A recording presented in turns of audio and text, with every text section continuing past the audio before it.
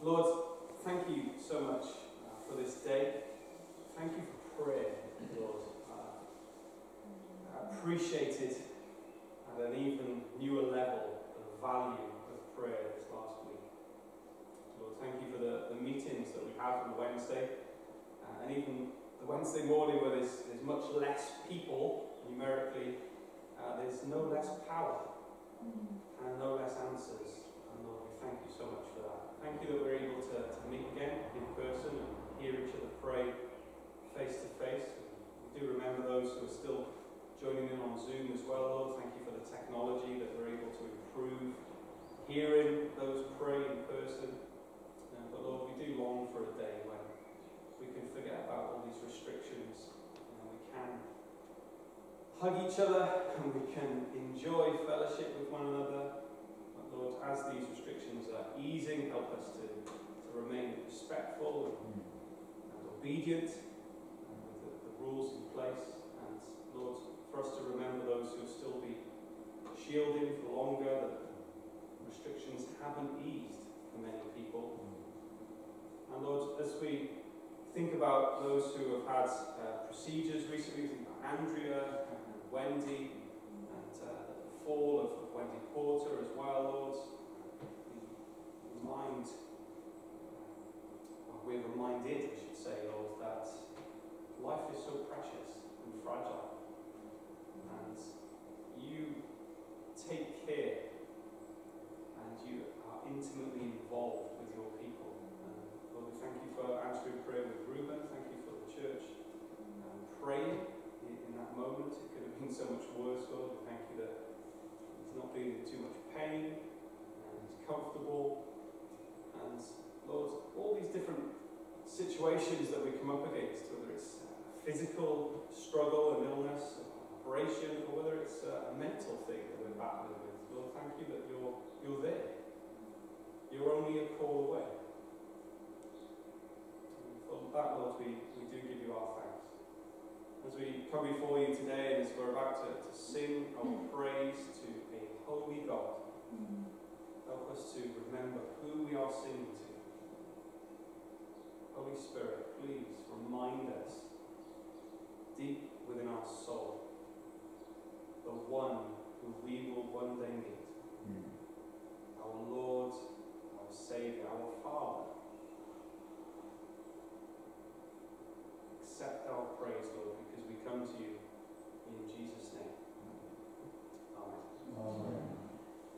Let's stand and sing together. Holy Spirit, living breath of God. Yeah, that, Sharon's going to play it through first. Just there's a couple of people I know who probably won't know it, so um, just to get you familiar with the tune, and then yeah, I've got the words up ready, so you can have a look at the words as Sharon's playing as well.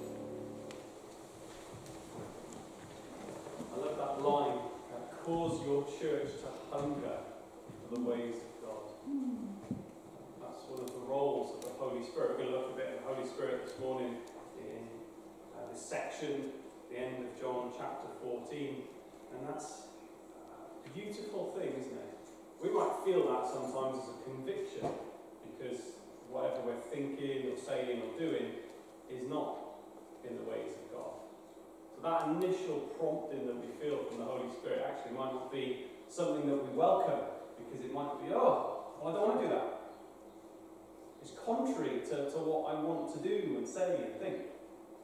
But actually, it's absolutely stunning, isn't it? That God, by His Spirit, is guiding us to speak and act and think in a way that lines up with how God thinks and speaks and acts.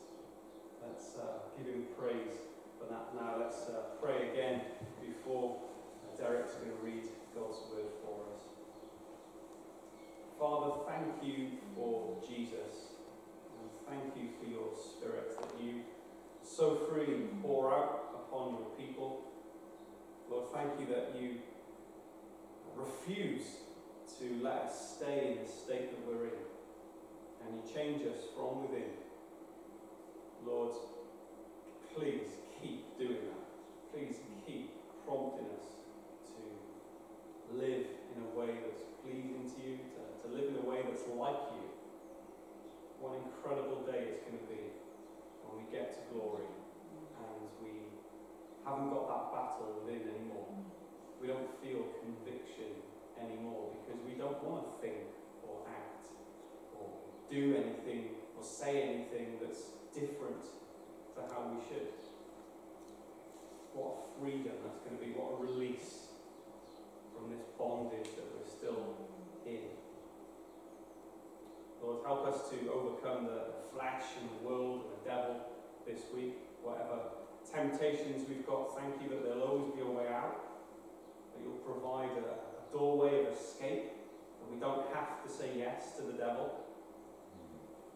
We have the ability to say no and to overcome whatever challenges. Lord, thank you that you don't put us through anything beyond what we can bear. You'll be with us every step of the way. And Lord, we do pray for those who, who don't have that battle because they don't have the Holy Spirit. We pray for those who, who believe that it's okay to live in a way that's completely different from your way. What a dangerous thing that is. To live your whole life in a way that's not pleasing to the living God. The one who gave life and continues to give life. Father, please pour out your spirit across this county. Mm-hmm. Convict in great numbers those who don't yet know you. Reveal Jesus, Holy Spirit, so that many can get on their knees and be thankful for the one who died for their sin and rose on the third day. Lord, we love you and we praise you this day. For your glory's sake, we pray. Amen. Thanks.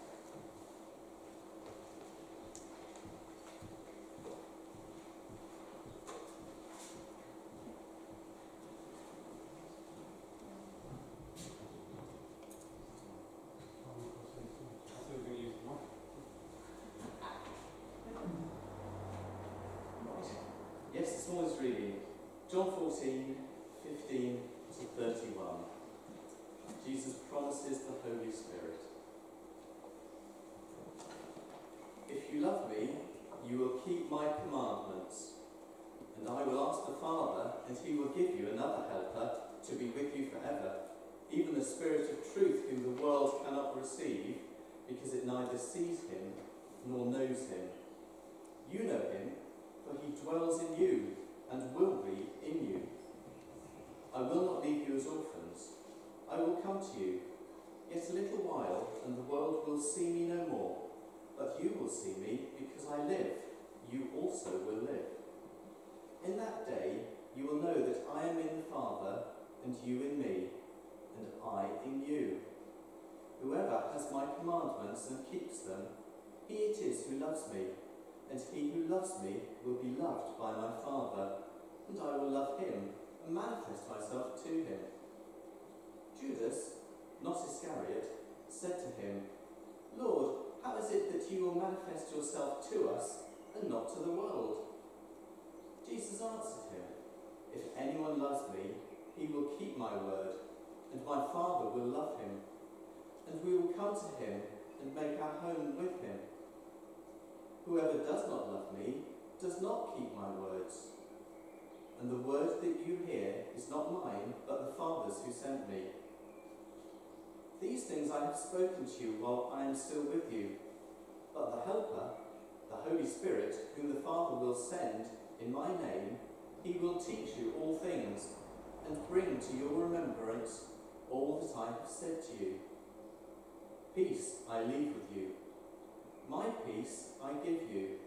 Not as the world gives, do I give to you. Let not your hearts be troubled, neither let them be afraid.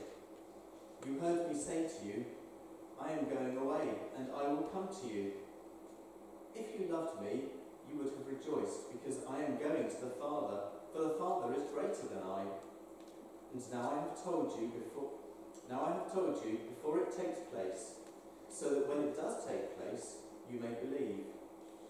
I will no longer talk much with you, for the ruler of this world is coming. He has no claim on me, but I do as the Father has commanded me, so that the world may know that I love the Father. Rise, let us go from here.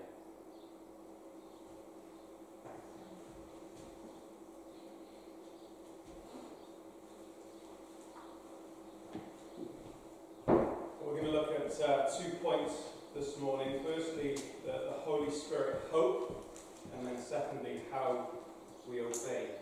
So, Jesus is continuing to comfort the disciples because they're still quite distressed and disturbed because he keeps talking about dying, he keeps talking about leaving them. So, you cast your mind back a few weeks ago. Um, that's what they're wrestling with, that's what they're struggling with. Peter's gone quiet because Jesus has told him, actually, you're not going to do what you promised you were going to do. You're going to deny me. And Judas has betrayed. And so there's all this worry and panic within the disciples. They're really stressed out. And Jesus knows that.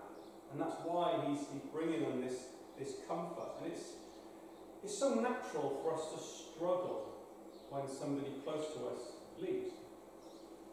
It's a natural thing. We shouldn't feel guilty about that. Especially if it's, I think probably the worst is parents, and you're left as an orphan. And that's how the disciples are feeling. Jesus was, he was like their father, he was like their brother, he was their closest friend. He was all those things to them. And they feel like they're being abandoned, and they're left with no one. I don't know if you've ever had that yourself, where you've had somebody in your life, and when they've gone, you thought they're irreplaceable. There's no one. And other people will say, oh, it's okay, you know, this couple will, will help you, or this person will kind of be a new mentor, and they'll be that father figure or that, that sister, and you just think it's not going to be the same. I want them. And only them. Carl and I experienced this in the first couple of years of coming to faith. There's a couple who kind of took us under their wing, and, and they probably felt like they didn't really do much for us. But they did. Their counsel, their, their love, their prayers. We knew that they were there for us. We could just pick up the phone, and they were there. We could pop round for a cup of tea and sit down and just tell them our sin and confess. And they didn't judge us. They didn't say, oh, you're supposed to be a Christian. How can you behave like that? They just calmly nodded their head and said, right, the first thing we're going to do is pray. And then they, they might give us some advice. They might not, they didn't always. But when they died, we felt like orphans. Our spiritual parents had been taken. And there were other people, it's not the same. We felt it when, when Merv Neal, who many of you know, told the church that he was going to leave the church and go to India. And there were lots of people who were oh, this is incredible. God's called him full time to India, and then the assistant pastor in the church is going to take over as pastor. Lovely guy, lovely pastor. No, don't want him to go. It's not going to be the same. He's my pastor. He's my first pastor. He's my only pastor. I want him. Can't replace him with someone else. Only he will do.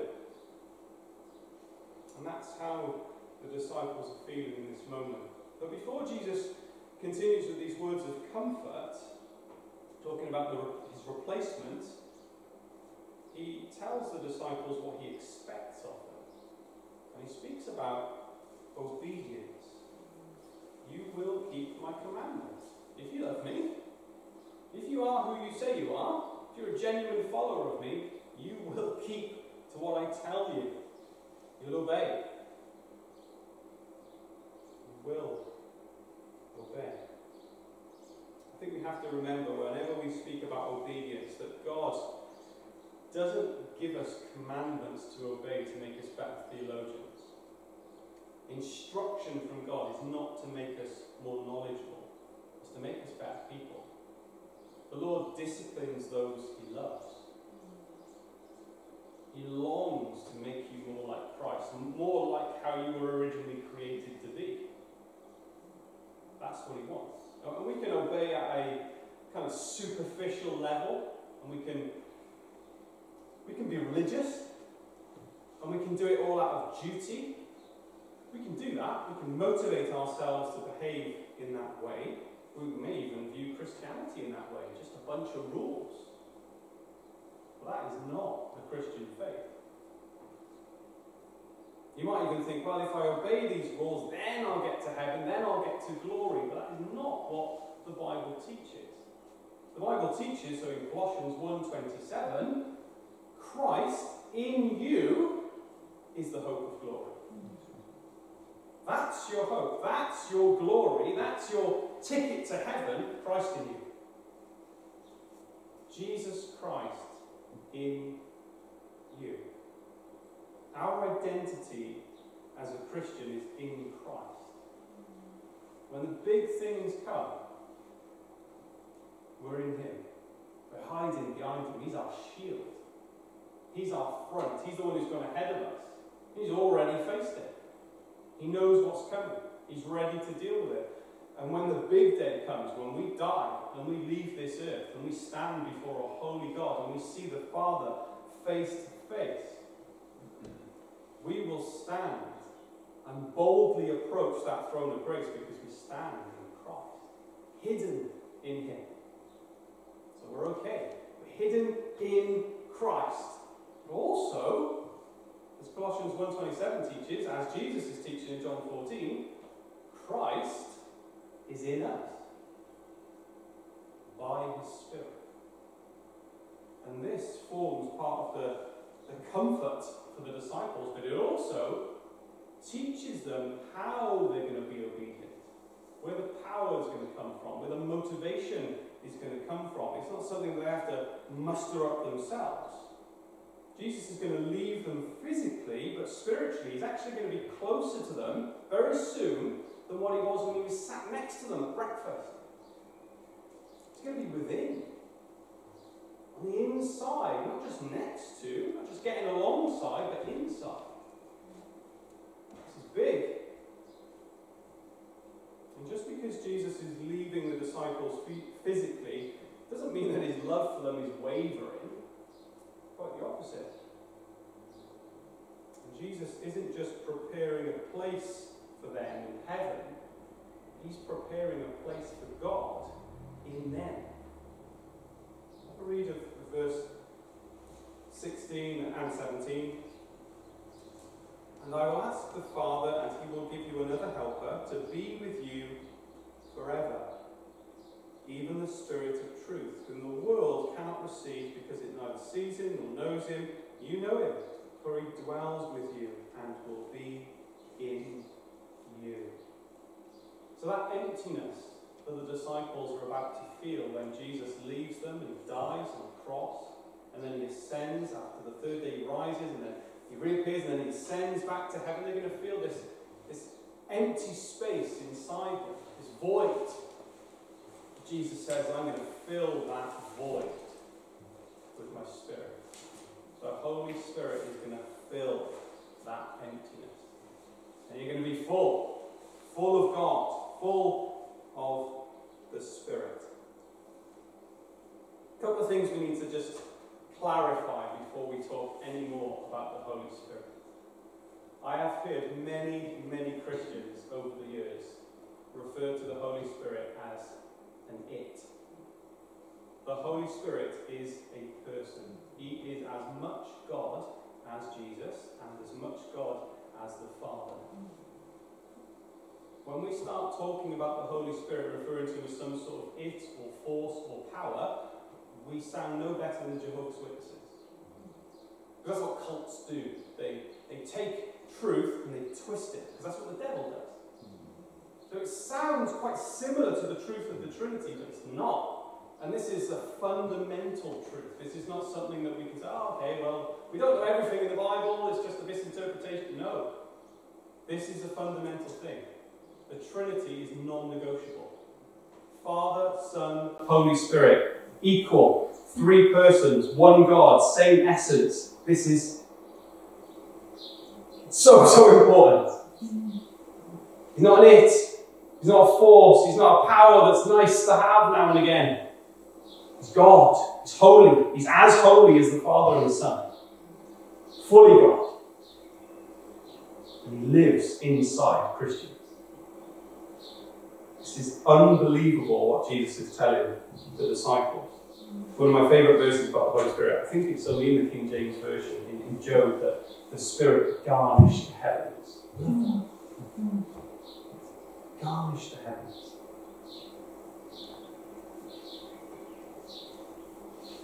The Holy Spirit has no lesser value or worth or power than Jesus or the Father. Where we misinterpret it is we even do it with Jesus, and we, we talk as if there's a hierarchy within the Trinity. We say Father, Son, Holy Spirit. So the best day would be when we see the Father. Um, yeah, it's quite good when people saw Jesus. And yeah, it's alright, and the Holy Spirit. And so like this is escalating. Not the case. Not at all. Because that's our misinterpretation of, of glory. We think that because the Father is the sender, that, oh, Jesus is the sent one, so he's kind of under the Father. No, he's equal to the Father. Jesus was happy to be sent, the Father was happy to send him. The Holy Spirit is happy to be sent and to dwell inside of you. One will, Father, Son, and Holy Spirit. So when we see that tension in Jesus when he's, he's in Gethsemane and, and he's like, uh, oh, not my will, your will be done. That's not Jesus' will against the Father's will. That's his, his human will, if you like, human nature and the, the divine. Having that wrestle, because in his human nature, Jesus was able to be tempted. In his divine nature, he wasn't. Nothing can tempt God. That's where the tension was within Christ, because he was fully man and he was fully God. But there is no tension, never has been any tension between Father, Son, and Holy Spirit. Ever. So the Holy Spirit is as much God as Jesus and the Father, and the Holy Spirit's going to come and live in the disciples. You cannot have a relationship with the Father unless you're connected to Jesus, unless you're in Christ. But you can't have a close walk with Christ unless you're connected to the Holy Spirit and you're in touch with the Holy Spirit. And we might hear lots of kind of Christian talk and, religious language about being in touch with the Spirit or being receptive to the Spirit or open to the Spirit or filled with the Spirit. What, what do we mean by that? And I think what the way that the Bible presents it at least is that we have an awareness of God. We're receptive to Him. We're open to His leading. We're willing to be taught by God. We're not just tunnel vision. I'm going to do what I'm going to do. That's the end of it. We're open. Is it right what I'm going to do? So we're in prayer with God always, like what Paul was speaking about. Pray continuously all the time. It's that being in touch with God. Where do we get that guidance? We get it through the Holy Spirit.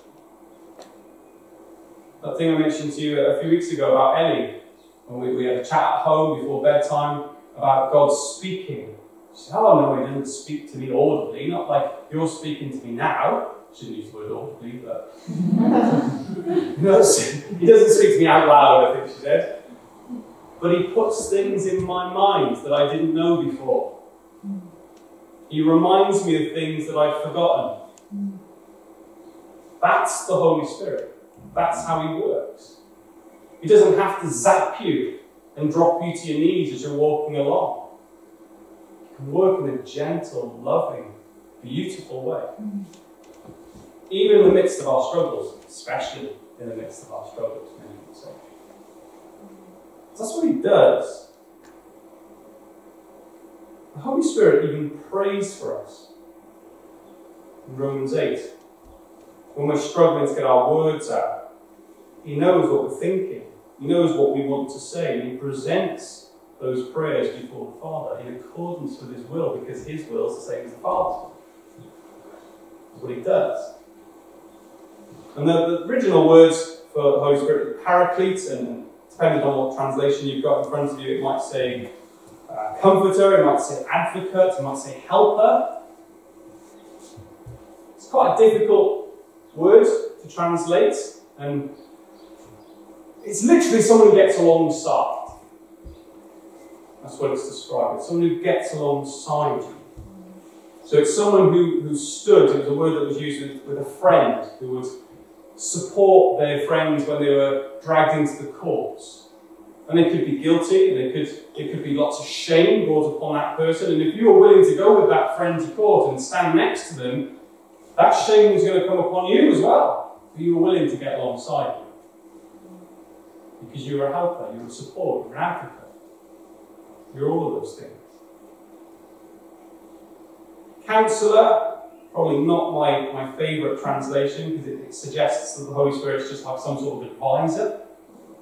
He's more than that. He's actively assisting, he's not passive. You think about Jesus after his baptism. What did the Holy Spirit do? Did he just come and give Jesus a little bit of gentle counsel? No, he drove him into the wilderness to face the devil. That's what the Holy Spirit did. Drove him. Not that it was against Jesus' will. He was willing to go and tackle the devil. Maybe not in his human nature, there might have been some tension there, but he went.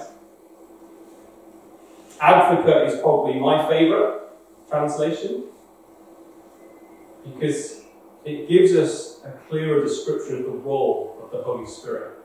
And the interesting thing is, verse 16 says, another advocate. Another one who's going to get alongside. Why does Jesus say that? Well, he's been their advocate, hasn't he? Jesus has been alongside the disciples and he's saying to them, You're going to get another. Another like me. Very like me. Romans 8:34 tells us about Jesus as an advocate. Who then is the one who condemns? No one. Christ Jesus, who died, more than that, who was raised to life, is at the right hand of God and is also interceding for us. He's our advocate. But listen to what else Romans 8 says. In the same way, the Spirit helps us in our weakness. We do not know what we ought to pray for, but the Spirit Himself intercedes for us. Same role, same word. He's our advocate. Does the same thing that Jesus does. So the Holy Spirit continues the work of Jesus, like we mentioned a few weeks ago. Acts chapter 1, Luke part 2. These are the things that Jesus began to do and to teach, Luke's Gospel, and through Acts, through the church, is what he continues to do and to teach through his Spirit. The Spirit and the Son have the same will, motive, agenda, plan. It's the Father's plan. And they love carrying it out. They're on the same page. Two persons, but one essence, one purpose. And this is a massive comfort to the disciples. Huge. Because they're being reassured that the Holy Spirit is very much like Jesus. It's almost as if he's the same.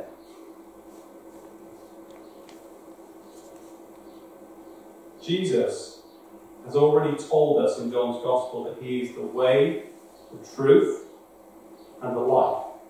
I look at verse 17. The Spirit of truth.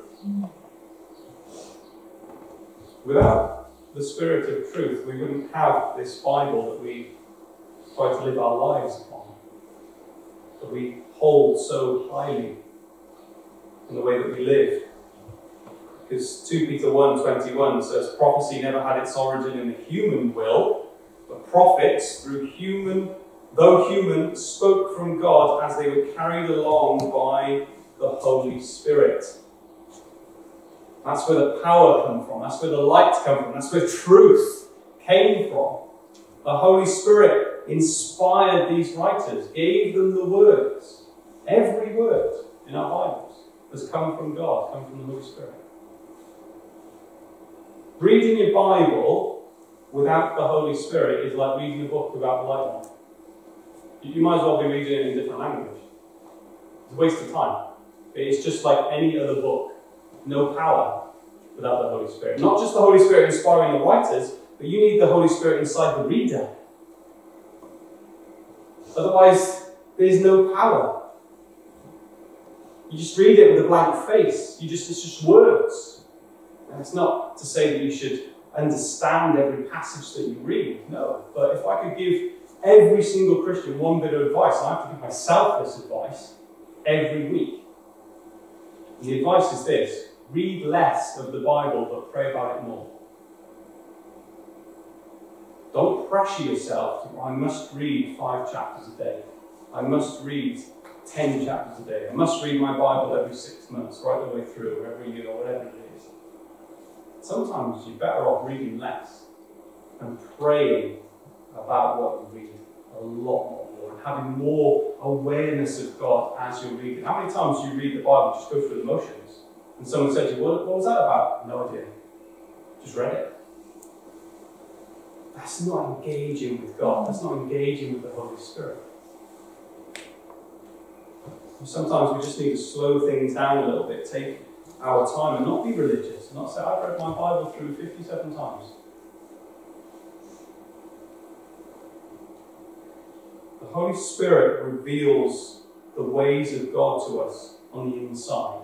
That's what He does. So He, he lights up the way and the truth and the life. He lights up Jesus. He's the illuminator. You might think of Him like that. And truth is perfect correspondence with reality. That's, in essence, what truth is. And the truth that Jesus is telling the disciples is I'm not going to abandon you. I will not abandon my people. It says in verse 18, I will not leave you as orphans. I will come to you. Or was he referring to? Is he referring to when he dies and rises on the third day and then reappears? Because when Jesus reappeared after the resurrection, he didn't appear to unbelievers. He only appeared to believers. So 1 Corinthians 15 says, For what I passed, for what I received, I passed on to you as of first importance, that Christ died for our sins according to the scriptures, that he was buried, that he was raised on the third day according to the scriptures, and that he appeared to Peter and then to the twelve. After that, he appeared to more than 500 of the brothers and sisters at the same time, most of whom are still living, though some have fallen asleep. What a beautiful thing that Jesus did. Is that what he's referring to here? Or is he referring to the second coming, when he's going to come back? He's going to appear to them, they're going to be with him forever. Or is he referring to them, him returning to them by means of the Holy Spirit? Probably all three. the important lesson that he's teaching his disciples is I'm not going anywhere. Physically, I'm leaving. Spiritually, I'm not. I'm staying. I'm staying forever. I'm going to make my home in you, and I'm going to make a home for you. It's both. And part of that help that we get from the Holy Spirit is assurance. We need assurance, don't we? We shouldn't, but we, do. We do. Because many religious people are very uncomfortable with the assurance that Christians have in our faith and where we're going. You speak to many Catholic people, people of lots of different faiths, and they will say, mm, Can you be sure? Can you, how can you, that's arrogant, that is. That's, that's almost blasphemy to say, You're definitely going to heaven. That's, no, I'm not sure about that. And the devil jumps all over you when you get those thoughts in your head. Especially when you're unwell or when there's, there's a big problem going on in life. That's when the devil is all over you like a rash. Are you really a Christian? Are you sure? I'm not sure. I don't think you are. Can you really guarantee that you're going to heaven? Have you obeyed all the commandments that Jesus has given? You haven't. I don't think you're going. Actually, I'm pretty sure you're not going. That's the voice of the devil. Holy Spirit doesn't speak like that. He doesn't do that. In verse 19, Jesus says, Because I live, you also will live. Yet a little while the world will see me no more, but you will see me because I live, you also will live. It's a bit like the, the son who represents the father we were speaking about a few weeks ago. He might have a ring on, a family ring, or a little emblem, but he's a representative of the father. Has the same rights and power and authority. We are representatives of God. We represent God in this community. Wherever we go, we represent Him. And our seal, our of ring or badge, is the Holy Spirit. He's the assurance that we have. Actually, you know, I am a Christian. Because, yeah, I haven't messed up today. I haven't obeyed all the commands. I haven't lived how I should live. And my will hasn't lined up with God's will. But you know what? I love God. I love Him. And I want to honour Him. And I want to glorify Him. And I want to be better. I know I don't deserve to go to this home that Jesus is preparing for me, but He's told me He's preparing it for me, and I believe Him. You're a Christian. You're a follower of Jesus.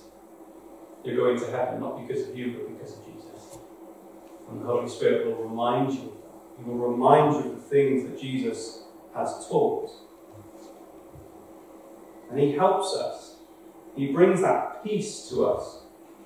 A peace that was purchased with the death of Christ. And He loves to do that. He helps us to obey God as well. But the challenge is, and this is our, our second point, is how do we obey God without being a bunch of Pharisees? Jesus, he wasn't keen on the Pharisees, was he? He criticized them a lot. He didn't like religion. So that's our second point. How are we to obey? Well, verse 15 tells us love. Mm. Love is how we obey. If you love me, then you will keep my commands. Not, if you keep my commands, then I'll love you. Or if you keep my commands, then you, you'll end up loving me. No, it's the other way around. If you love me, then you will keep my commands. So love is the, the motivating cause of mm-hmm. obedience. And then you get to verse 21, and obedience is the test of the love. It has to be that way around. Love comes first. We've looked a lot at King David on Wednesdays. We've looked through the Psalms. And when you think of King David, I wonder if you think of the Bathsheba stuff first. Because we read a lot about David's sin, Especially in, Samuel and There's so much of it. We read about his disobedience. We, we read about the Bathsheba stuff and we think, well, women and sex seem to be David's greatest treasure. That's where his heart is. But the Psalms tell us so much more. Because consistently, despite his, his failings and his fears, he kept coming back to God. He cheated on him, but he kept returning. Why? Because he loved him. He genuinely loved God. He was a man after God's own heart. He loved him. We looked at Psalm 18 the other day. It's one of my favourite starts to a psalm because it's so simple and it's so profound because he just said, I love you, O Lord. Everything else will flow out of that statement. But that's he's just putting it all out there straight away. I love you. I love God. I wonder how many times we tell our family. We're racking our brains and praying sometimes, me the words to say, and how can I describe the gospel in a way that's not going to offend them, but, but not, not scare them off, but still I want to keep the truth. And how many times we just say, you know I just love God more than anything or anyone else. I just, I just love it. Powerful, isn't it, David? Really powerful. And Jesus said in Matthew 6 that where, where your treasure is, that's where your heart will be.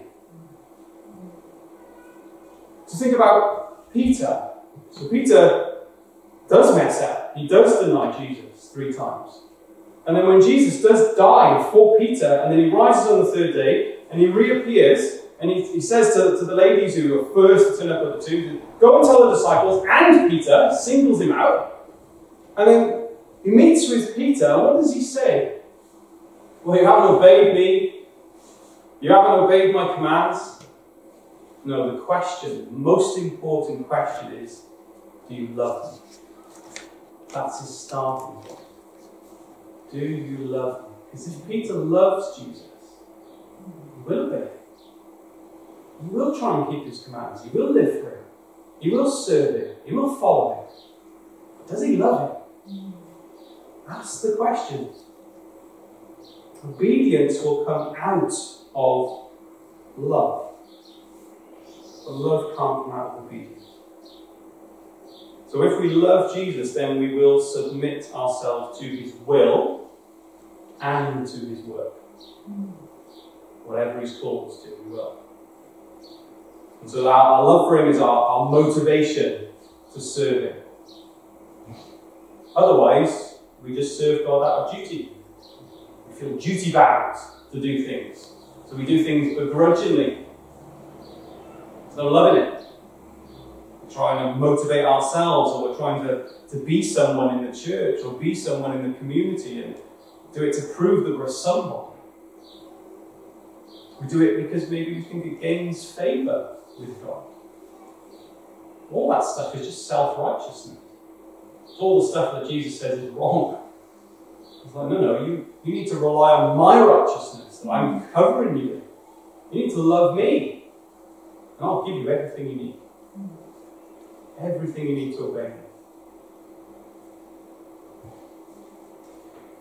Obedience is easy when we're in love. A wife who genuinely loves her husband will have no problem submitting to him and trusting him because she loves him. A husband will have no problem laying down his life for his wife if he loves her. If he doesn't, there'll be a problem for both of them. Because the true test of love is it's not when things are going smoothly, everything's hunky dory. It's when things are tough. It's when your loved one is, is struggling, when they can't do things they could do before, when you truly have to get alongside them. You have to support them. You have to go to court with them. You have to feed them, care for them, dress them, drive them. Listen to them, even when you don't want to.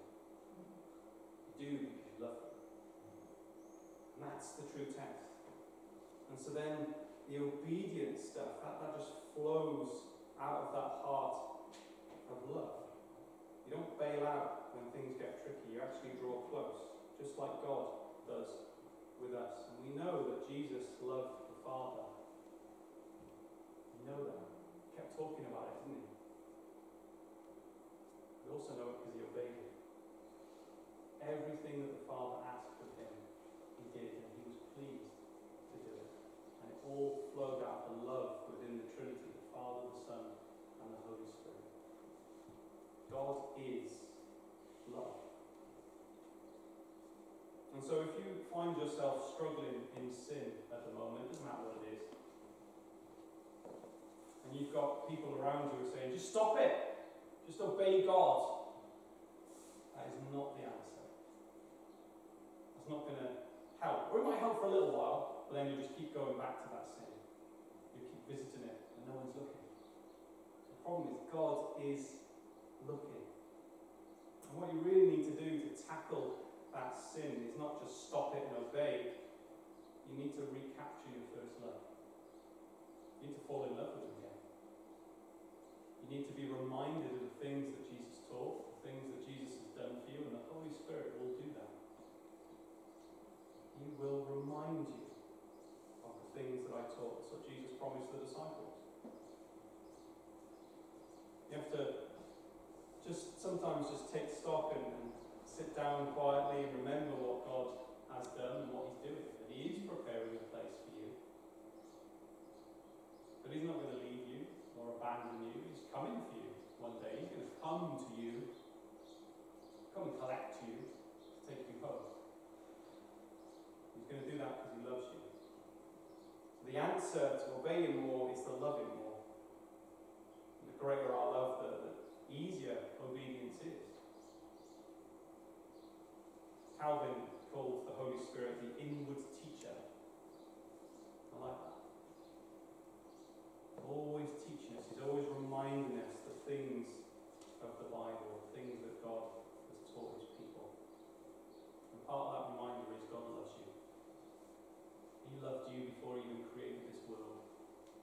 He was thinking about you before he was thinking about the sky and the birds.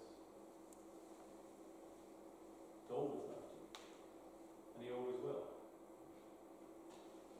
So I'll just finish with this picture um, I was thinking of last night. I was thinking about long distance relationships because I don't like it at the moment. Carla and I are only living a couple of miles apart, and even though we see each other every day, it's, it's uncomfortable for us both. All this stupid building work's being done, and, and it's, it's not nice. We don't like it. We know there are people in far more difficult situations, I don't want to blow it up out of proportion. But it's long distance relationships, especially if you, you, you can't see each other every day, are, are really hard. And you're reliant on, on means to connect you, like emails or phone calls, letters. But it's not the same, is it? It's not the same, but it's better than nothing. It's a means to connect you to that person, so you might be able to read their words, you might be able to see a picture of them. Well, we might think about that, this stage that we're in. So we can't see the Father, not face to face, we can't see Jesus, but we have a means of connection. And that means is the Holy Spirit. But actually, we shouldn't think about it like that analogy. We shouldn't think about it as a lesser connection, but a connection that's always going to be. It's always going to be like that. We might not see the Father face to face every single day in glory, if there are days, I don't know. But we're always going to be connected by the Holy Spirit. He's, he's come inside us, in our soul, and He's staying forever. So that connection that we've got with, with Jesus, that's, that's a forever connection.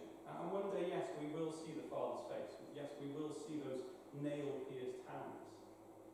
We will.